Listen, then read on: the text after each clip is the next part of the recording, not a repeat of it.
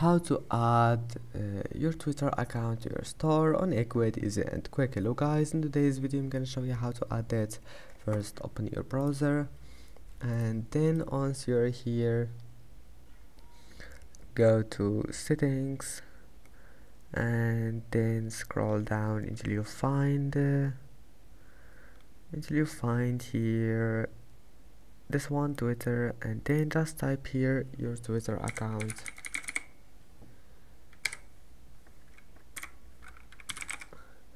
and uh,